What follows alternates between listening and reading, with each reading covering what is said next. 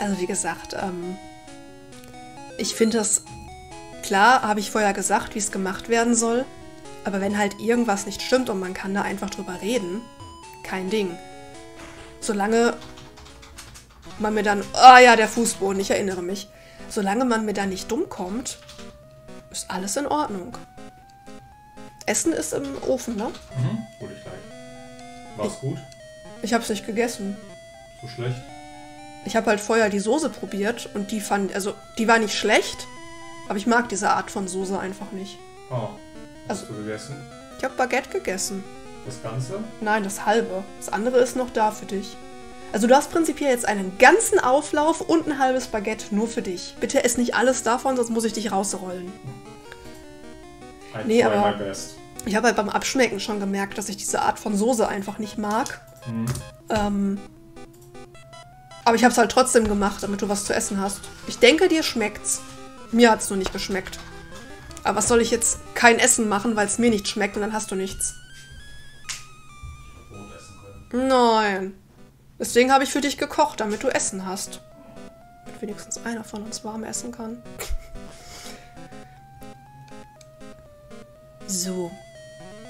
Hi, na? Soweit wollte ich eigentlich gar nicht latschen. Ich wollte eigentlich erst den Öffner holen. Aber okay. Wir probieren aktuell wieder so ein paar neue Gerichte aus. Und dass halt nicht alles davon super gut schmeckt, ist ja auch normal. Dass manches einfach nicht. Ach ja, Ali, I remember. Dass manches einfach nicht so dem Geschmack entspricht. Aber Jan ist da halt sehr viel flexibler als ich. Also Jan isst sehr viel mehr verschiedene Sachen. Und nur weil ich dann was nicht mag oder beim Kochen halt schon merke, dass es nicht mein Geschmack ist, breche es ja nicht ab. Wie egoistisch wäre das? Nein, mir schmeckt das nicht, du darfst es jetzt auch nicht essen. Von daher gesehen. Aber ja, der Boden in diesem Gebäude ist schon. Ich glaube, der Boden selbst wäre nicht so anstrengend, wenn es eine andere Farbe wäre. Wäre das dunkelblau, wäre es wesentlich angenehmer für die Augen als dieses Pissgelb. Aber gut, ganz Safronia hat ja die Farbe. Vorgehensweise im Sylph-Gebäude ist eigentlich recht simpel. Man schnappt sich nämlich erst den Türöffner, damit man auch wirklich alle Türen aufmachen kann beim Erkunden.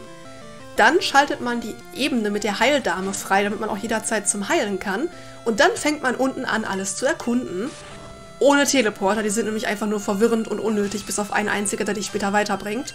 Aber den nimmst du sowieso erst ganz zum Schluss. Fun Fact: Ich hatte früher ein Lösungsheft zur ersten Gen und habe da halt auch ein bisschen was mitgemacht im Sylph-Gebäude. Da waren aber irgendwie die Etagen anders beschriftet, als sie eigentlich sind. Und deswegen bin ich mir bis heute unsicher, ob der Türöffner in 4 oder 5 liegt.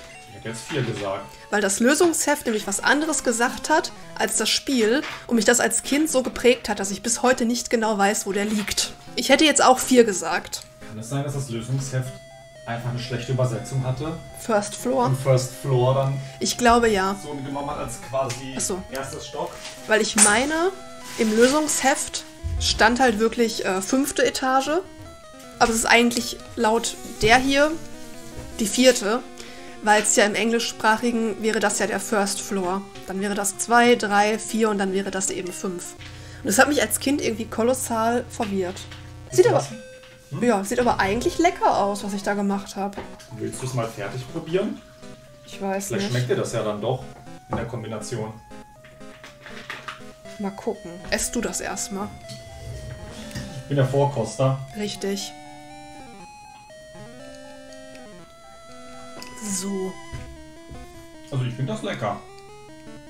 Als ob du ja schon so schnell was davon gegessen hast. So, da muss ich durch. Ich habe übrigens, bevor jemand fragt, das sind quasi, das ist ein Auflauf mit Gnocchi. Dann sind da Paprika und Pilze drin. Dann ist da so eine Tomaten, Gemüsebrühe, Sahnesoße mit Hack. Und dann ist es mit Käse überbacken. Das klingt sehr skurril. Eigentlich ursprünglich laut dem Rezept waren, glaube ich, Paprika und Zucchini drin, aber ich stehe nicht so auf Zucchini, deswegen habe ich Pilze reingetan statt Zucchini. Ihr habt so geiles Essen. Wir sind einfach nur experimentierfreudig. Du hattest mich schon bei Auflauf. Ja, Auflauf ist halt schon immer ganz nett. Also ich finde, es könnte dir vielleicht schmecken. Muss ich das jetzt live im Stream essen? Ja. Probiere dein eigenes Essen. Warte. Lass mich eben mich hier hinstellen. Boah, es riecht total. Es riecht, du riechst total die Paprika irgendwie. Ist es noch halbwegs warm? Ja, bisschen. Ein bisschen. Wie unprofessionell. Social Eating. Erstmal mein eigenes Essen im Stream essen. Wobei das schon sehr matschig aussieht. Aber okay. War halt noch sehr flüssig. Ja.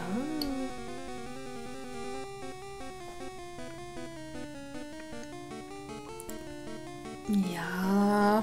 Nicht so deins. Lässt sich essen. Aber ich habe schon geileres gegessen. Na gut. So.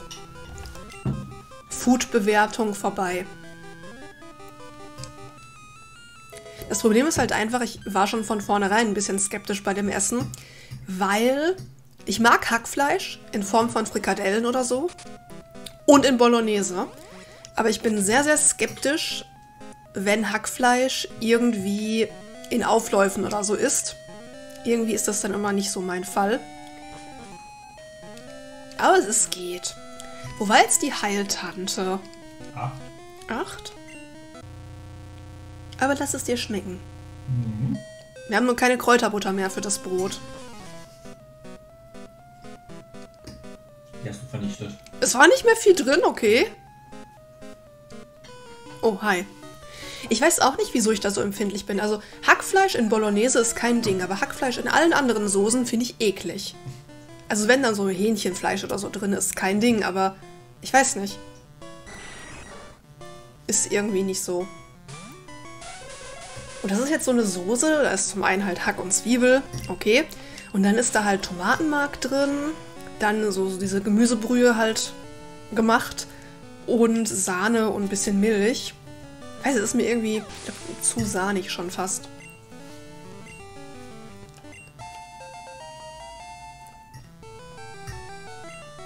Eh, Traumato. So.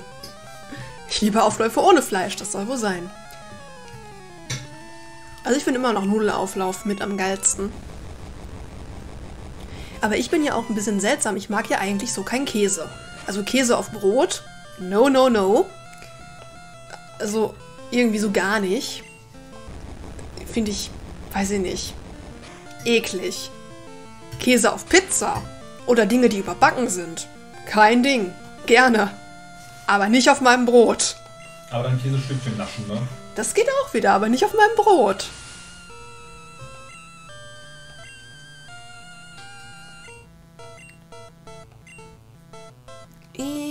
So, einmal durchwechseln. Dann Ali, der ist gleich dann Lasagne ohne Käse. Ja. Reden wir nicht darüber. Ach ja, ich erinnere mich. Der Hornbohrer. Was?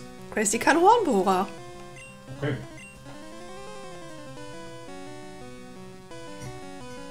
Hast du auch ein gutes X-Treffer dafür?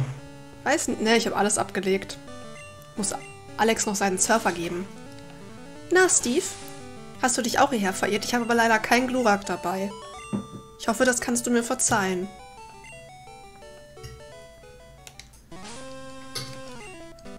Eh, wo ist denn mein Surfer? Da. Jetzt der Plot-Twist. Alex kann keinen Surfer lernen. Ja, Gracie ja auch. Also ich hätte mehr Vertrauen auf Dragonir zu surfen, als auf Fleckmon. Na, Fleck. Oh, stimmt. 34 noch. Äh, da war der Psychokinese. Packen wir es mal damit hin.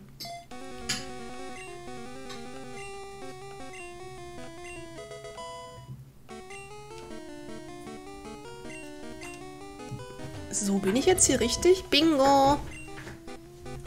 Warum immer Bingo? Ah ja. Aber das Gute ist, ich kann nach dem Stream noch Nachtisch essen, weil ich nämlich nach dem Essen keinen Nachtisch hatte. Also Plan war eigentlich, dieses Mittagessen zu essen, was ich gekocht habe, und dann Nachtisch. Der eigentliche, oder die eigentliche Realität war, ich habe Baguette gegessen mit Kräuterbutter, weil mir das Essen nicht geschmeckt hat und habe danach keinen Nachtisch gegessen, weil ich im Wohnzimmer bei Akechi saß und geguckt habe, ob er ordnungsgemäß seinen Salat isst. Und dann war Streamzeit. Hm. Brauchte halt wieder einen entspannten Stream zum Ausruhen. Naja, ich sag mal so, ich würde jetzt, wenn ich nicht gerade Nier Automata streame, würde ich behaupten, dass die meisten Streams halbwegs entspannt sind, weil ich ja eigentlich nie so viel rumschreie. Aber gut, sowas wie Zelda ist natürlich noch mal ein bisschen actiongeladener als Pokémon zum Beispiel. Pokémon kannst du einfach im Hintergrund rumdümpeln lassen, da verpasst du sowieso nichts. Dann hoffe ich, dass du dich auf jeden Fall ein bisschen ausruhen kannst. Wieso habe ich Ali eigentlich immer noch vorne? Der hat da nichts mehr zu suchen. Was? Nervige Telekom-Olle am Telefon? Wollte sie dir was andrehen? Was? Ja gut, Nier ist ja sowieso durch, Steve. Wir haben ja aktuell noch Captain Toad und Zelda, die sind ja auch eigentlich, ne? Jetzt nicht so actiongeladen, aber Pokémon ist schon auch mal was anderes. Was hast du jetzt eigentlich gemacht in der Küche? Nachschlag geholt. War dein Teller schon leer? Ja. Als ob! Als ob du den Teller so schnell leer gegessen hast. Ich habe gerade rüber geguckt vor zwei Sekunden, da war der Teller noch voll. Der kann doch jetzt schon nicht wieder leer gewesen sein.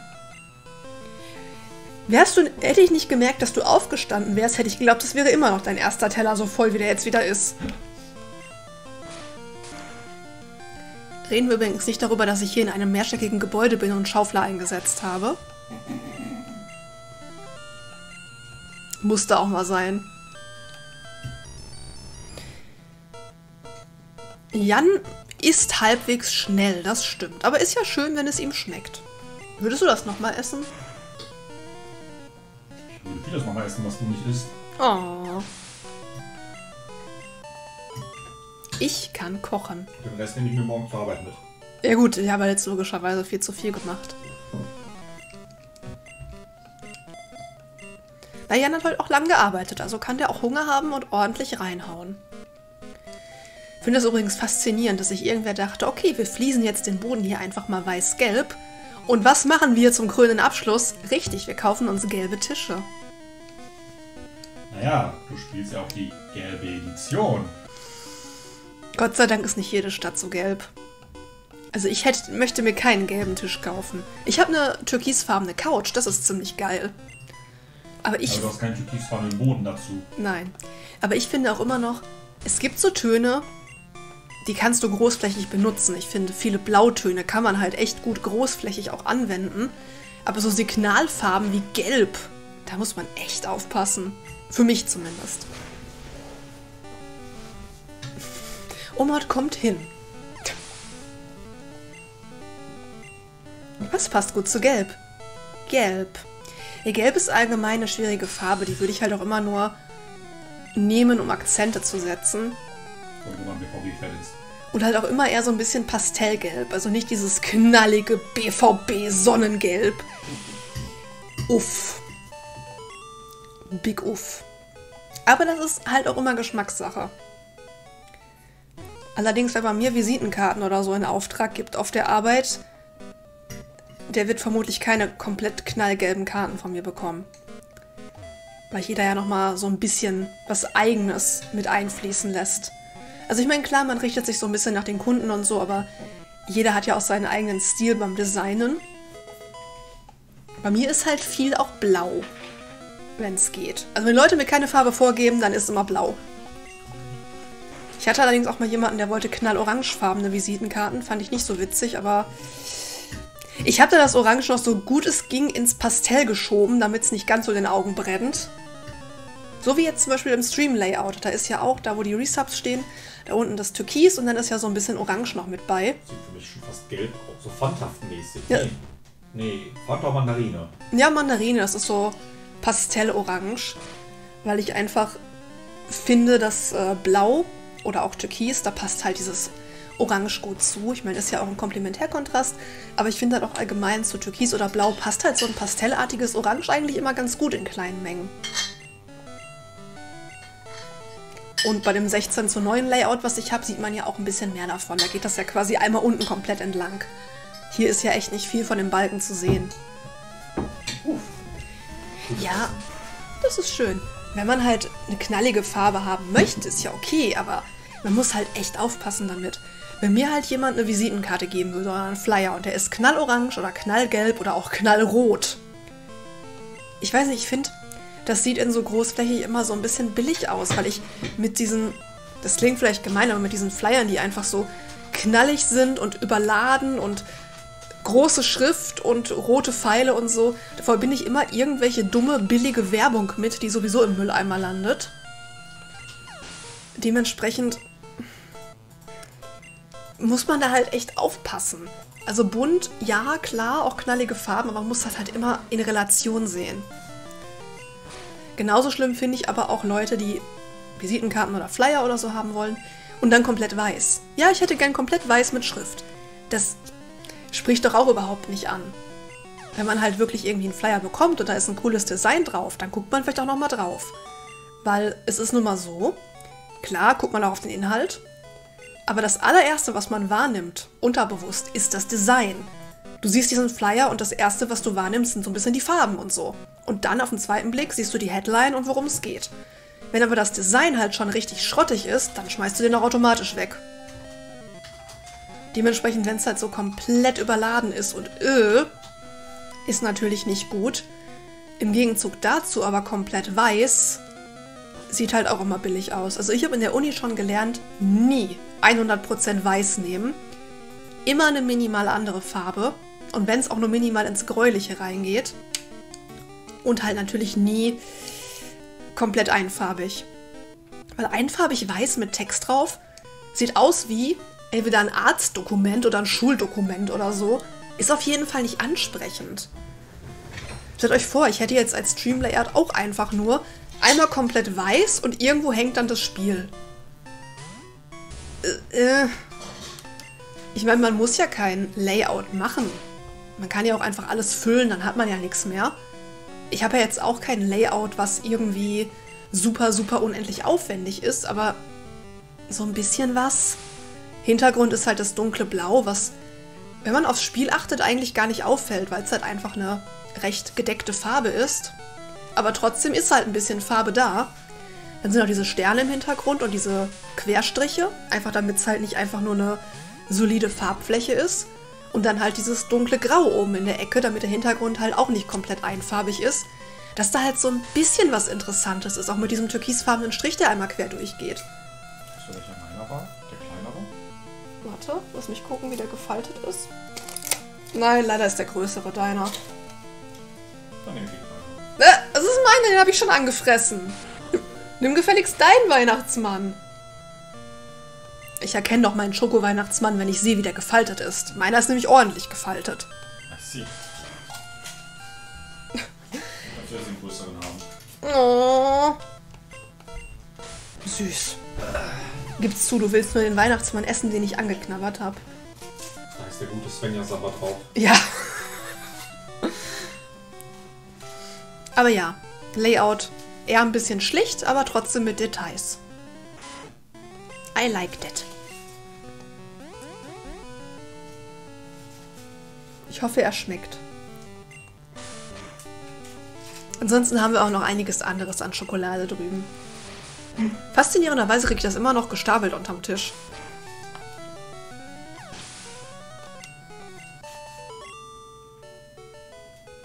Ich sollte nur mal Melli von der Spitze wegpacken. Die hat doch schon Level 35. Eh, Juna. So Kampf ist lustig. Aber Juna lernte, glaube ich, noch irgendwas und dann wollten wir sie auch entwickeln. So, du arbeitest hier und bist aufgeschmissen.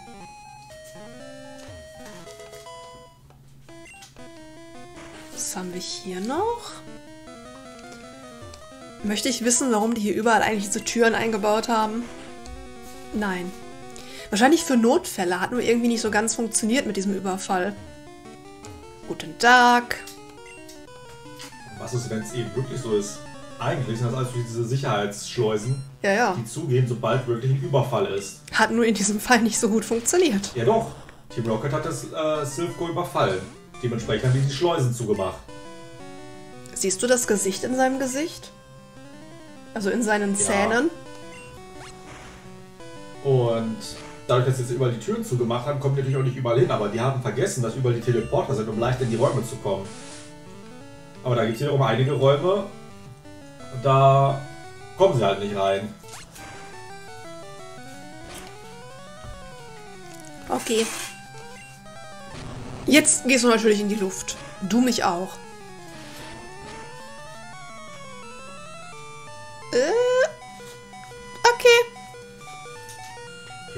Du easy, weil es ja nur ein Dingens ist, ein Elektroball, aber so ein Volltreffer tut schon weiter ein bisschen weh. Schon, ja. Splüsch. Splüsch. Gebirm. Diese Smogmog machen ich immer noch fertig. Warum? Guck dir mal die Köpfe an. Der eine ist traurig, der andere keckt ein bisschen rum und versucht nebenbei auch traurig zu sein.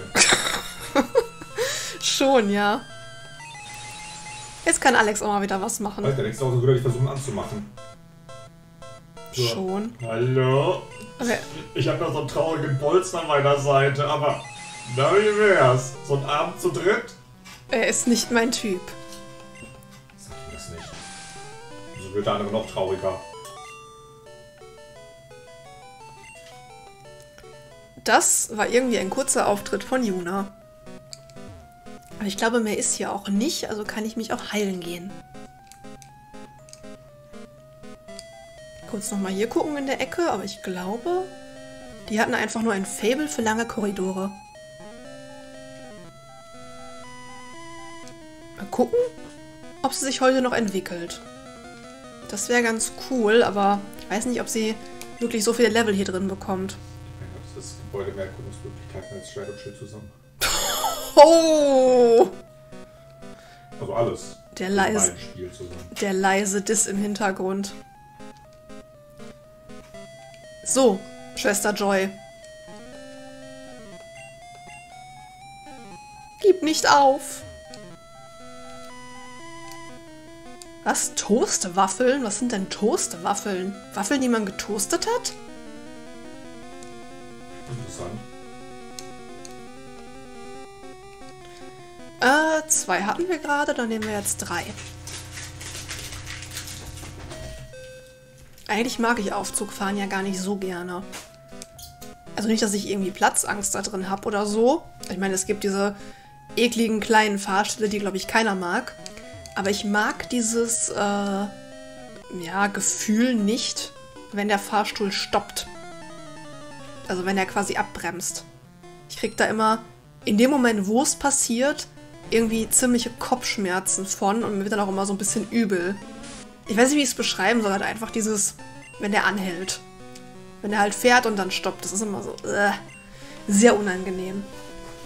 Genauso wie wenn ein Flugzeug startet oder landet. Mag ich auch überhaupt nicht. Oh mein Gott, noch jemanden, dem es so geht. Du bist ja auch mein Klon, Leo. Aber ich bin froh, dass ich damit nicht alleine bin. Ich weiß, es ist einfach unangenehm. Aber haben auch nicht alle Fahrstühle tatsächlich. Es gibt auch welche, bei denen ist das in Ordnung. Aber ich glaube, gerade bei den Älteren ist es manchmal echt unangenehm. Was hast du da getan? Schokolade für die Arbeit mitnehmen. Ah, du kannst doch keine Schoketten entwenden, bevor Kai da war. Ich habe hier noch eine zweite Packung davon. Ach so. Haben deine Arbeitskollegen sich die Schokolade auch verdient? Ja. Ich habe Überstunden geschoben. Okay. Sag mal, als ich vorhin angerufen habe, ne? Ja. Welcher seltsamer Mensch hat da so schrill plötzlich im Hintergrund geschrien? Das hat mich richtig erschrocken und die Schweinchen auch alle, weil ich das auf Lautsprecher hatte. Irgendein Kind im Hintergrund. Wisst ihr, ich, Weil ich mit extra nach draußen gegangen bin. ich habe mit Jana telefoniert, habe ich euch ja erzählt, wegen Akechi. Und plötzlich höre ich nur im Hintergrund. Äh! Ich so, hä? Was ist jetzt los? Deswegen hast du da kurz gestoppt. Ja. Aber nee, ich dachte, es ist gerade ein Kind vorbeigelaufen. Boah, Kind. Das war ich. Ach so, Steve. Äh, Da ist schon wieder Ende. Ja, Team Rocket hat die Kontrolle überloren. Überloren? Ja. Übernommen und bald wieder verloren. Das wollte ich damit sagen. Kontrolle überlogen. Vielleicht auch das.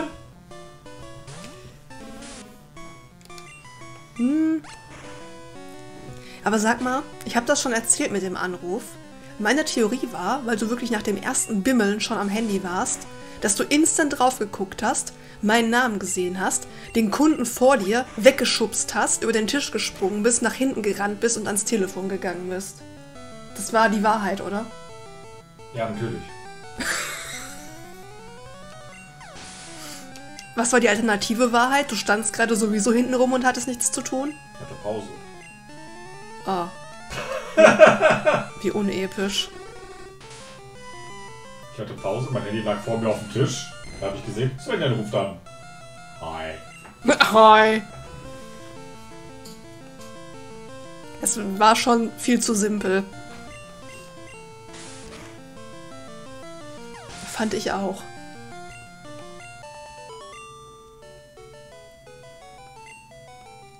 Ich rufe halt Jan nie auf dem Handy an. Also wirklich nie. Dementsprechend, äh, It's no calling man. wenn ich dann doch mal anrufe, dann ist halt schon wichtig und nicht nur für Smalltalk. Für alles andere kann ich immer eine Nachricht schreiben. Hast du das gelesen mit meiner Mutter? Die mich gefragt hat, ob ich auf dem Bett gefallen bin, Ah, doch. weil ich um 8 Uhr morgens angeblich Pokémon gespielt habe, aber eigentlich warst du das. Ich habe gar nicht Pokémon gespielt, und die Switch angemacht. Das hat ja gereicht. Aber ich muss doch deinen Rapper wiederherstellen. Das ist nett. Hast du alles zurückgesetzt? Ja. Also falls dir Programme fehlen seit dem letzten Mal, dann weißt du, wo die Ich habe nicht festgestellt, dass mir irgendwas fehlt. OBS war da. Ja. Das wäre Ich habe richtig. versucht, die Updates zu deinstallieren. Hat nichts gebracht, also habe ich das Ganze einfach wieder zurückgesetzt, das ganze Ding. Nice. Wieder funktioniert. Einfach so, okay, Stream. Wo ist mein Streaming-Programm? Wo ist mein Spiel? Wo ist alles? Ja, das Geräusch von Säure ist auch godlike. Oh, oh, oh, oh.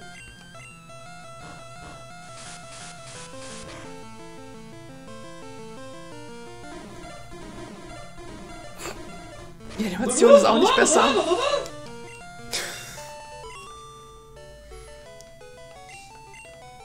So. Ist hier noch irgendwas Schönes? Nein, der hat sich einfach in diesen Raum eingeschlossen. Gibt's eigentlich, noch, die haben eine Hand im Schritt, die nach unten zeigt. Forscher. gibt's eigentlich so arme Seelen, die tatsächlich versuchen, mit den Teleportern in diesem Gebäude voranzukommen? Oh Gott. Das war so, als ich zum ersten Mal gespielt habe, habe ich die Teleporter schon ignoriert, mit dem Hintergedanken, ich kann sie ja später noch ausprobieren. Und da habe ich festgestellt, dass ich sie gar nicht brauche. Bis auf zwei. Ja. Okay, haben wir das auch. Nein, ich doch nicht. Selbst die Palmen sehen hier nicht gesund aus.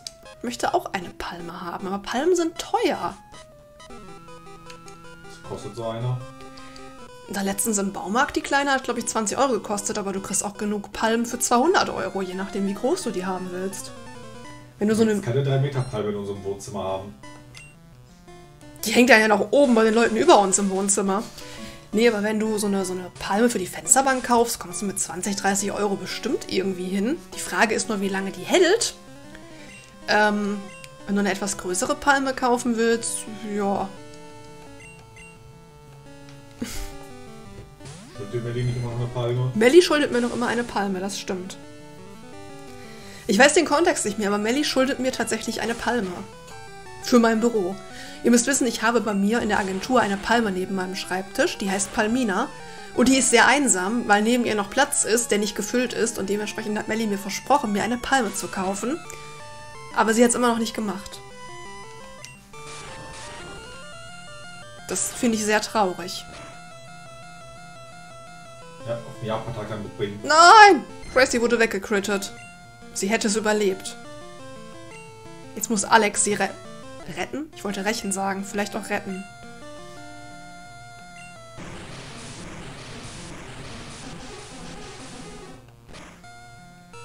Ich meine, hier in der Wohnung muss ich ganz ehrlich sagen, ich hätte keine Ahnung, wo ich noch eine Palme hinstellen soll. Wenn ich mal irgendwann hier ausgezogen bin, dann nehme ich auch gerne noch mehr Palmen entgegen. Das hätte ich eigentlich mal machen sollen. Nicht schickt mir Dominosteine, ich hätte sagen sollen, schickt mir bitte Palmen. Hätte ich einfach so zehn Palmen hier stehen gehabt. Bäh. So, ich bin jetzt. Warum habe ich jetzt die Treppe genommen? Es war jetzt vier oder so, ne, wo ich gerade war.